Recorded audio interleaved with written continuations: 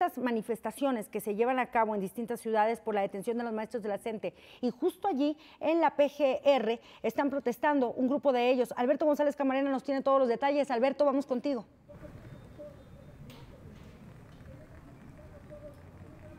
Buenas noches, Adriana. Efectivamente, en estos momentos me encuentro frente a las instalaciones de la Procuraduría General de la República, aquí en Reforma, donde se está realizando un meeting de algunos integrantes de la Coordinadora Nacional de Trabajadores de la Educación.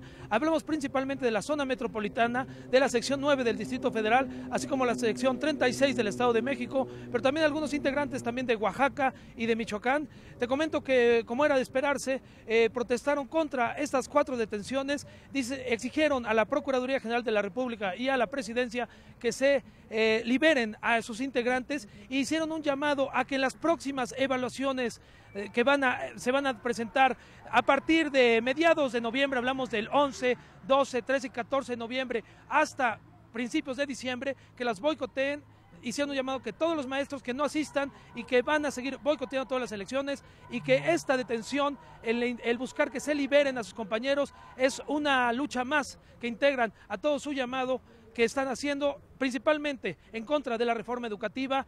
En estos momentos sigue realizándose este meeting. Es un grupo reducido, pero seguiremos esperando a ver qué ocurre en la noche. Ese es mi reporte hasta el momento, Adriana. Alberto, también han dicho que van a hacer los próximos días algunas otras eh, movilizaciones como las que había anunciado Rubén Núñez. sí comentaron que van a tener eh, movilizaciones y manifestaciones.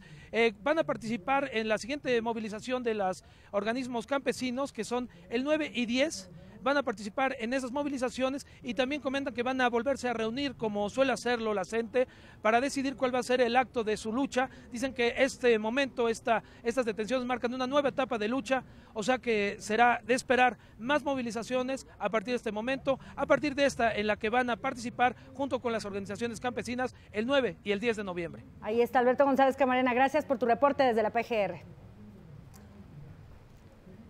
Muchas gracias Adriana. Hasta luego, Camarena. Y bueno, pues ahí está la, el reporte de cómo se está sintiendo aquí en la Ciudad de México esta, la inconformidad de este grupo magisterial. Nos vamos ahora.